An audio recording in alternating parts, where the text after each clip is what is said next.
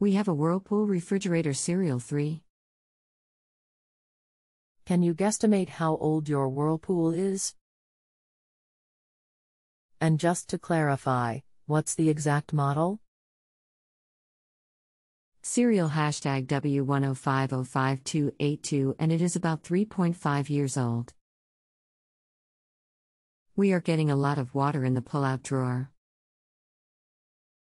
Any suggestions? Do you plan on doing the work yourself? If I can. Anything else we should know to help you best? I just want to know what I need to do to get rid of the water in the drawer. Everything gets wet. Hello. My name is I'll be helping you with your appliance question today. Please wait a few moments while I review your question. Do you have a full model number so I can better assist you? It should be located on a sticker near the ceiling of the refrigerator section and seen if you just open the refrigerator door. Also, what drawer exactly are you getting a lot of water in? WRX 988 Sigmu. The pullout is the one below the refrigerator. Okay, got it. You can't really remove that pull-out drawer, but if you open the refrigerator and remove the crisper drawers and such, open the pull-out drawer and you can see a vented cover panel against the back wall which is part 35 on the diagram attached below. Unscrew this cover panel and you'll see silver evaporator coils. There is a drain trough below the coils and the drain hole in the center is clogged so you'll need to clear it by shooting hot water with a turkey baster.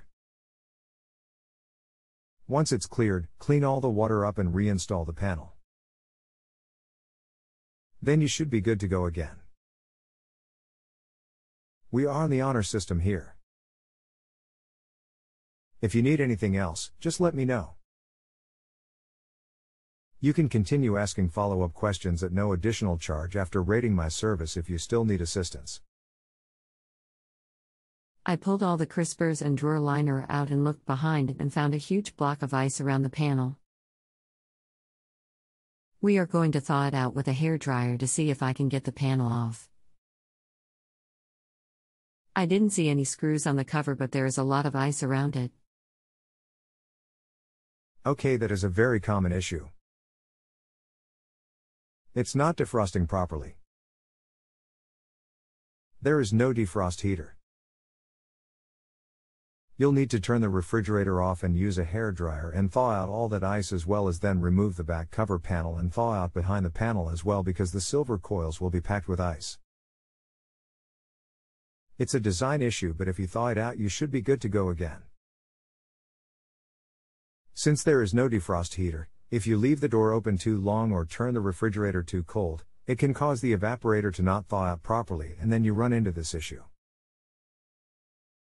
I am not sure what panel we need to remove. Do you mean we need to pull the refrigerator away from the wall and go in from the back or just the plastic one part number 35? No, you don't need to pull the refrigerator out.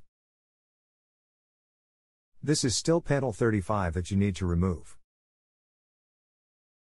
There is a panel with rollers on it that the crisper drawers slide in and out on. Can that be removed? It looks like you have to to be able to get to the coils. Yes, you can remove that, but I'm not there so I can't say what is specifically involved to remove that without being there. The lights went out in the refrigerator. We could not figure out how to turn off the refer without pulling the plug. Is the lights going out something programmed to do when the doors are open too long? The control panel still has power to it. The light went out from having the door open too long. You just have to close the doors, unplug the refrigerator for 5 minutes, and plug it back in, and the light will reset. Until I can figure a way to get the shelf panel with the rollers on it out, I can't see being able to remove part number 35. We got the external ice out and thawed most of it out, but the shelf prevents getting the coil cover off. I unplugged the refer a few minutes ago and we will rest it. I can send you the pages from the service manual that explain how to remove these parts if you'd like, but that's normally an additional charge, so if you wanted this, you would at least need to rate me before I send something like that over. Thank you. Attached are the documents on taking the refrigerator apart. If you have a home improvement or appliance question and want to chat with an expert now visit justanswer.com/ythi.